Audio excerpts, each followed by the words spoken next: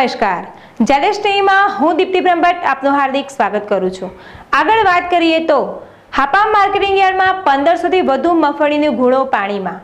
ખેડૂતો અને વેપારીઓને ભારે નુકસાન.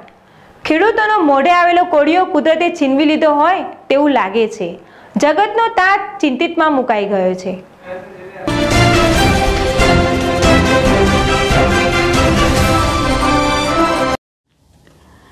જામનગરમાં કમોસમી વરસાદથી યાર્ડમાં વેપારીઓ ખરીદેલી મગફળીના પંદરસોથી વધુ ગુણી પલરી ગઈ હતી.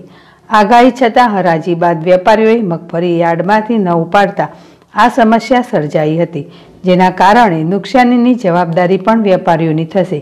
માવઠાથી ખેડૂતોની મગફળી પલરી ન હોવાનો દાવો જામનગર માર્કેટિંગ યાર્ડના અધિકારીઓ દ્વારા કરવામાં આવ્યો છે.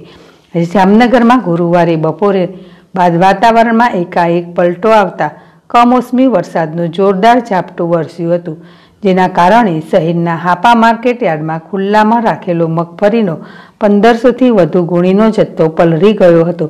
પરંતુ પલરી ગયેલો તમામ મગફળીનો જથ્થો હરાજીમાં વેપારીઓએ ખેડૂતો પાસેથી ખરીદેલો હોવાનું યાર્ડના અધિકારીઓએ જણાવ્યું હતું.